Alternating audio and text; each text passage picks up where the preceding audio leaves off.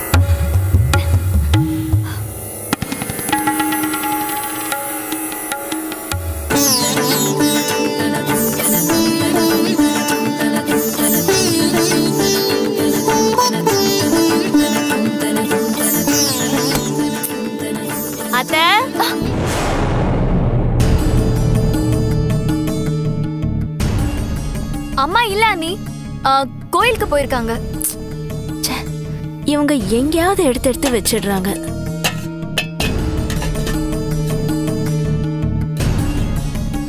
தினமும் தேடுறதே பொழப்பா போச்சு. எங்க வச்சிருக்காங்க? தீப்பெட்டி எங்க வச்சிருக்காங்கன்னு தெரியலையே. ச்சே அதுவும் காணாம போச்சா?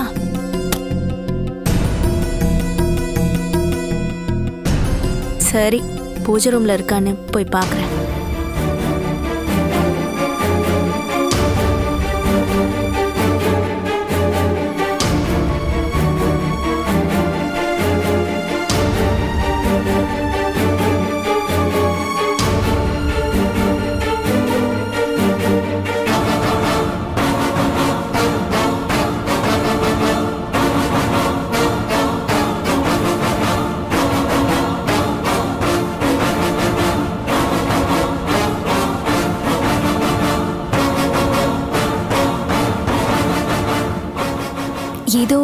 ஒரு கல்யாணம் பண்ணிக்கிட்டேன். எங்களை சேர்த்து வைக்கிறது உன்னோட பொறுப்பு. கழுத்துல தாலியை கட்டிக்கிட்டு நீ இருக்கிற துணிச்சல்ல தான் வீட்டுக்குள்ள தைரியமா சுத்திட்டு இருக்கேன். சமயம் சந்தர்ப்பம் தெரியாம யார்கிட்டயும் எனக்கு காட்டி கொடுத்துறாது.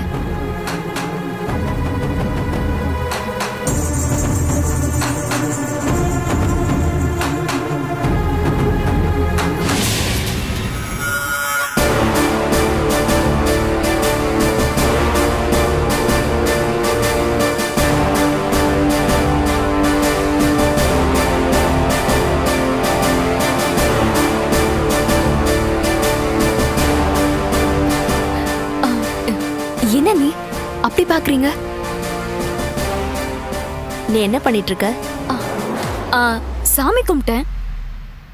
இது வரைக்கும் நீ சாமி கும்பிட்டு நான் பார்த்ததே இல்லையே.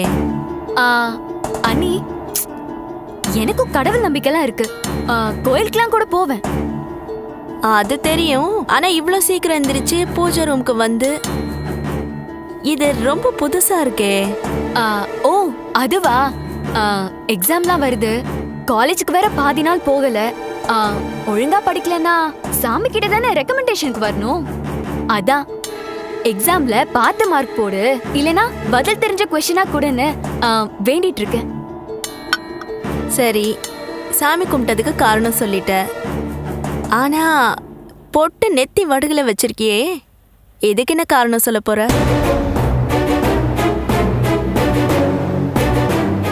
ஆ, ஆ, அண்ணி பொட்டை இங்க வைக்க கூடாதா? நீங்க மட்டும் அங்க வச்சிருக்கீங்க?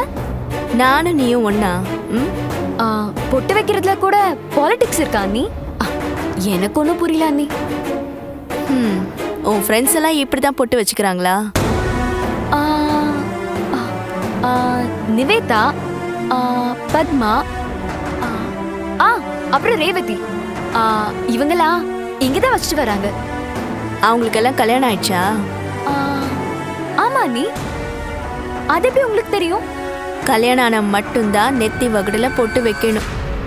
அது கூட உனக்கு தெரியாதா? அப்படியா? எனக்கு தெரியாது அண்ணி. இப்போ தெரிஞ்சுக்கிட்டல்ல? ம். அப்போ இதை அழிச்சிடு.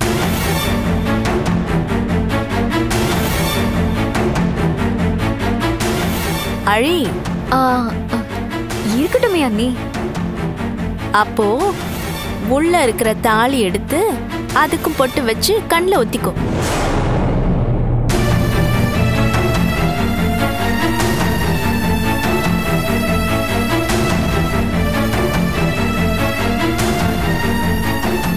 என்ன? அப்படியே திகைச்சு போயிட்ட? உன் கழுத்துல இன்னும் தாலி ஏறலல்ல? இல்லாத தாலிக்கு பொட்டு வைக்க முடியாதுல்ல? அப்போ கல்யாணம் ஆகாம எப்படி நெத்தி வகுடுல பொட்டு வைக்க முடியும்?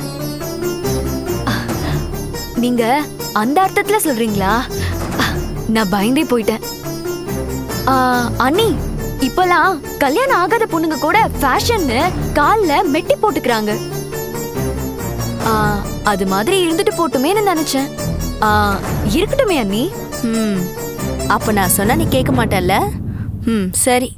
இன்னும் கொஞ்ச நேரத்துல கோயிலுக்கு போன உங்க அம்மா திரும்பி வருவாங்க. அவங்க சொல்லுவாங்க அப்ப என்ன பதில் சொல்றேன்னு பார்க்கலாம் ஆ அண்ணி அண்ணி.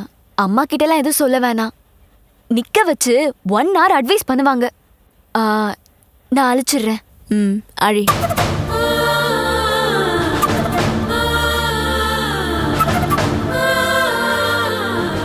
இங்க பாரு. யார் யாரு எப்பப்போ என்னென்ன செய்யணும்னு ஒரு முறை இருக்கு. அதை புரிஞ்சுக்கோ. இல்லைன்னா பெரிய குழப்பமாயிடும். ம்? சரி கிச்சன்ல லைட்டரை பாத்தியா? ஆ சிங்க் மேல தான் இருக்கா அண்ணி நான் தான் அங்க வச்சேன். சரிதான்.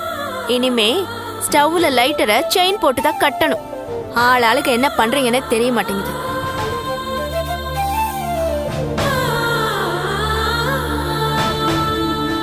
சாரி சாமி இதுக்கும் சேர்த்து என்ன மன்னிச்சுக்கோ?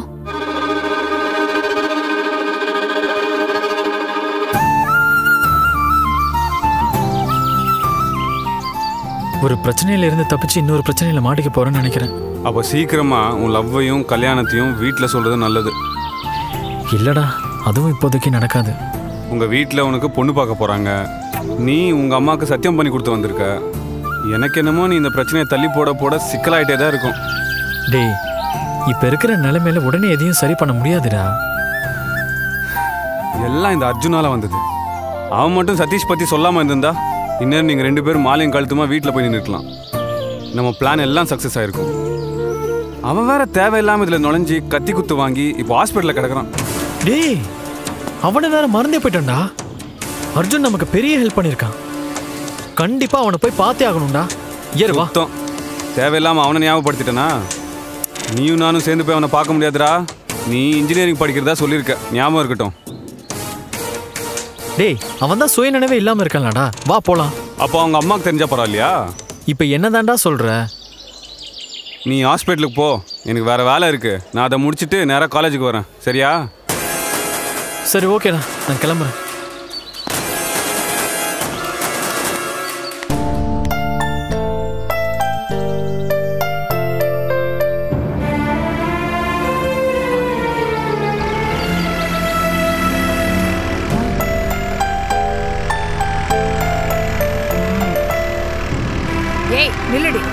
நில்லு.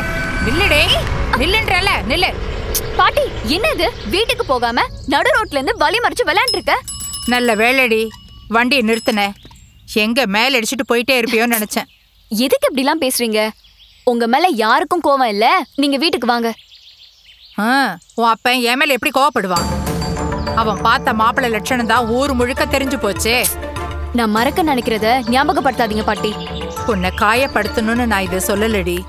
என் பேச்ச கேட்காம உன் அப்பா என்ன காரியம் பண்ணி வச்சிருக்கான்னு உனக்கு புரிய வைக்கிறதுக்கு தான் சொன்னேன். எனக்கு எல்லாம் புரியுது. என்னத்த புரிஞ்சுதோ. இன்னைக்கு நீ சந்தோஷமா காலேஜுக்கு போயிட்டு வரேன்னா அதுக்கு யார் காரணம்னு தெரியுமா? அர்ஜுன். அர்ஜுன் தான். அவனை பத்தி ஒரு நிமிஷமாவது யோசிச்சு பாத்தியா? என்னடி உச்சு கொட்டுற? உன்னாலதான் அர்ஜுன் வாழ்வுக்கும் சாவுக்கும் நடுவுல போராடிட்டு இருக்கா. அதுக்கு நான் என்ன பண்ண முடியும் பாட்டி? அர்ஜுன் என் வீட்டுக்கு எதுக்கு வந்தான்? கல்யாண நேரத்துல என்னை கடத்திட்டு போக தானே அதையும் மனசுல வச்சுக்காம அப்பாவும் அம்மாவும் அவனை ஹாஸ்பிடல்ல பார்க்க வந்தாங்க. அத்தை அவங்கள திட்டி அனுப்பியிருக்காங்க. நாங்க வேற என்ன பண்ண முடியும்? ஓ உன் அப்பாவும் அம்மா வந்து போனதுனால தான் நீ ஆஸ்பத்திரிக்கு வந்து பார்க்காம இருக்கிற. அப்படிதானே? ஆமா. இப்ப நான் சொல்றேன்டி நீ ஏன் கூட ஆஸ்பத்திரிக்கு வா. உன்னை அவ எதுவும் சொல்லாம நான் பாத்துக்கிறேன். பாட்டி அப்பா அம்மாக்கு தெரியாம நான் வர மாட்டேன் ஏய் அர்ஜுன் உன்னாலதான் சாக கிடக்குறான். இப்படி சொல்லி சொல்லி எனக்குள்ள குற்ற உணர்வை ஏற்படுத்தாது பாட்டி. நான் எங்கேயும் வர மாட்டேன் அப்படி சொல்லாதம்மா. நீ வந்து ஒரு தடவை உன் முகத்தை பாரு. ஷாலினி வந்திருக்கேன்னு ஒரு வார்த்தை சொல்லு. அவன் உயிர் பழச்சுக்குவான். அதுக்கப்புறம் நீ வர வேண்டாம். நானும் உன்னை கூப்பிட மாட்டேன். இப்ப நீ வந்தன்னா அவன் உனக்கு செஞ்ச உதவிக்கு. நீ பதில் உதவி செஞ்சு கடனை தீத்த மாதிரி ஆயிடும். பாட்டி நான் இப்போ வந்தா அர்ஜுனுக்கு திரும்பவும் மனசுல தப்பான எண்ணம் வரும். என்ன கல்யாணம் பண்ணிக்கோன்னு வந்து நிப்பான். அப்படி நடக்காம நான் பாத்துக்கிறேம்மா. நீ ஒரே ஒரு தடவை அவனை வந்து பார்த்துட்டு போமா டாக்டர் கொடுக்கிற மருந்து மாத்திரையை விட நீ பக்கத்துல இருக்கன்ற நினைப்பு தான் அவனை பழைக்க வச்சிடும்.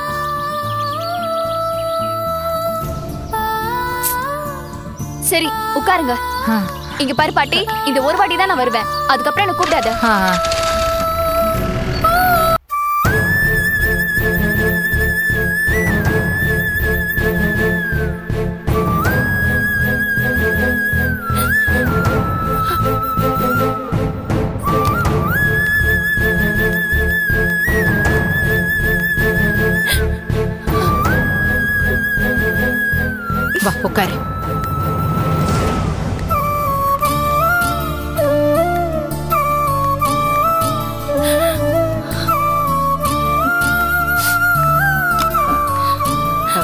கமலா.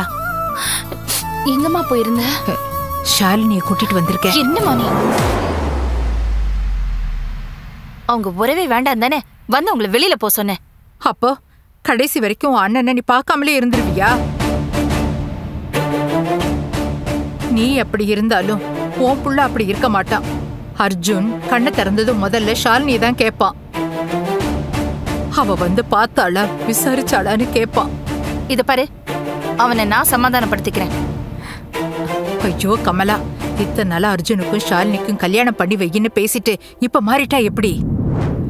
இதுதாண்டி சந்தர்ப்பம். ஷாலினிக்கு அர்ஜுன் மேல இறக்கம் வர வச்சு அதை கல்யாணம் வரைக்கும் கொண்டு போய் விடணும். கோவப்பட்ட எதையும் செய்ய முடியாதுடி. நான் அவளை கூப்பிடுறேன். நீ எதுவும் சொல்லாம அவகிட்ட அன்பா பேசு. சரியா? மா. இருடி இரு. ஐயோ. ஷாலினி வாமா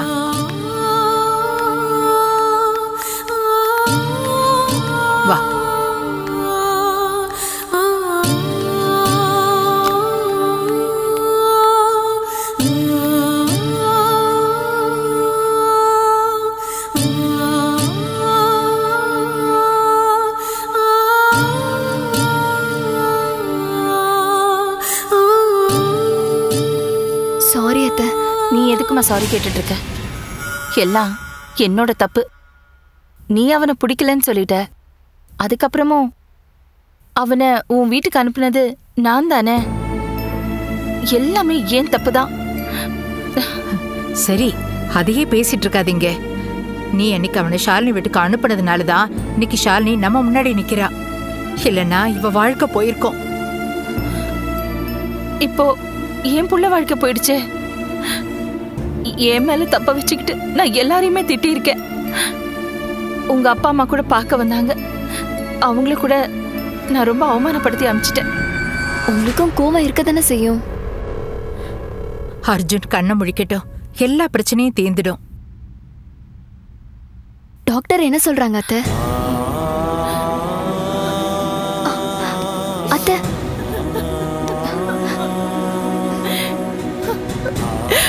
அவன் உயிர் பழிச்சிருவான்னு உறுதியா சொல்ல மாட்டேங்கிறாங்கம்மா. எந்த நிமிஷத்துலயும் என்ன நடக்குமோன்னு பயமா இருக்கும்மா. அழாத கமலா அழாத. ஏமா டாக்டர் பார்த்துட்டு வரக்குள்ள நீங்களும் உள்ள வந்துட்டீங்க? பேஷண்ட்டை டிஸ்டர்ப் பண்ணாம நீங்களாம் வெளியில இருங்க. என் பேத்தி பார்க்கணும்னு சொன்னா அவளும் டாக்டர் தான். அப்படியா? வணக்கம் டாக்டர் எந்த ஹாஸ்பிட்டல்ல ஒர்க் பண்றீங்க? இல்ல இப்பதான் ஃபைனல் இயர் படிச்சிட்டு இருக்கேன். என்ன மறைக்கிற? அடுத்த வருஷம் இவளும் டாக்டர் தான். சரி எல்லாரும் கொஞ்ச நேரம் வெளியில இருங்க. போங்க.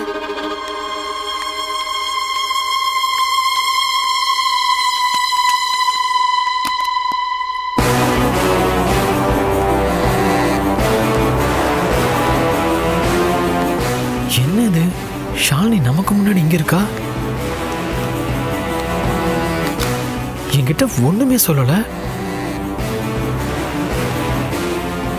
வாங்க தம்பி. ஆ அர்ஜுன் ஹாஸ்பிட்டல்ல சேர்த்திருக்கிறதா சொன்னாங்க. என்னாச்சு அவருக்கு? எல்லாம் விதிப்பா. இவன் கையிலயும் அடிபட்டு இப்படி படுக்கணும்னு விதி. அன்னைக்கு அவன் உனக்கு ஃபோன் பண்ண யோசனை கேட்கணும்னு. உன் ஃபோன் ஸ்விட்ச் ஆஃப்ல இருந்துச்சுப்பா. அதுக்கப்புறம் அவனாவே ஒரு முடிவு எடுத்து ஷாலினி வீட்டுக்கு போனான் நீ அன்னைக்கு ஃபோன் எடுத்திருந்தேன்னா இன்னைக்கு அவன் நல்லா இருந்திருப்பான்லப்பா. இல்ல ஆண்டி ஃபோன் தொலைஞ்சிருச்சு. அதனால தான் என்னால எடுக்க முடியல. ஹ, அதான் சொன்னல விதின்னு. விடு. அம்மா இவன் தான் ராஜேஷ். அர்ஜுனோட ஃப்ரெண்டு ஹாய்மா இது ஷாலினிப்பா. ஹாய் ஹாய் இவளை தான் அர்ஜுன் கல்யாணம் பண்ணிக்கணும்னு இருந்தான் இன்னைக்கு மனசு மாறி வந்தவ அன்னைக்கே வந்திருந்தா எவ்வளவு நல்லா இருந்திருக்கும். கல்யாணம் நின்று போன அவமானமும் இவங்க குடும்பத்துக்கு வந்திருக்காது. யாருக்கு யாருன்னு மனுஷங்க தீர்மானிக்க முடியாதுல்ல. நான் அர்ஜுனை பார்க்கலாமா இப்போ? இது பாருப்பா. யாரும் உள்ள போக கூடாதுன்னு சொல்லிருக்காங்க நீ வேணா வெளியில இருந்து பாரு சரிங்க ஆண்டி நான் வெளியில இருந்தே பார்க்கறேன்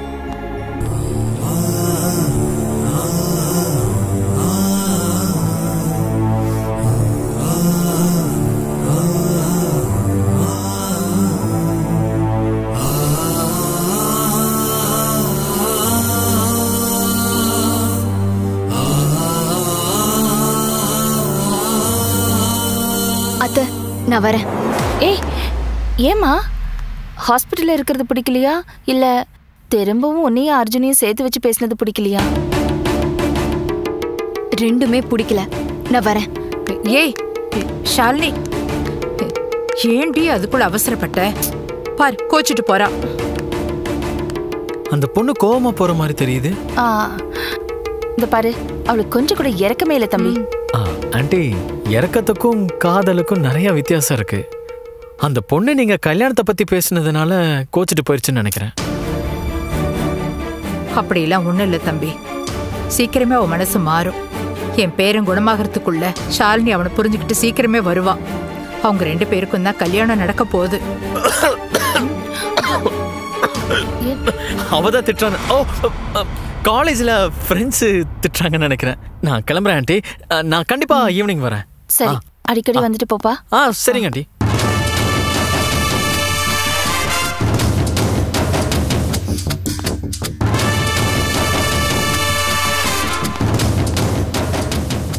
இங்க கீழே உங்க அண்ணன் பொண்ணை பார்த்தேன் இங்க தான் வந்துட்டு போறாள? ஆமா. நான் தான் கூட்டிட்டு வந்தேன். நினைச்சேன். இப்பதான் என் பொண்டாட்டி கொஞ்சம் ரோஷப்பட்டு அந்த வீட்ல இருக்கிற யாரும் இங்க வர வேண்டாம்னு சொன்னா அதை நீங்க கெடுக்குறீங்களா? சொந்த பந்தம்னா சண்டை சச்சரவு வரத்தான் செய்யும். அதுக்காக கடைசி வரைக்கும் பிரிஞ்சே இருக்க முடியுமா? ஷாலினியால வந்த பிரச்சனை ஷாலினியால தான் முடியும்னு பாக்குறேன்.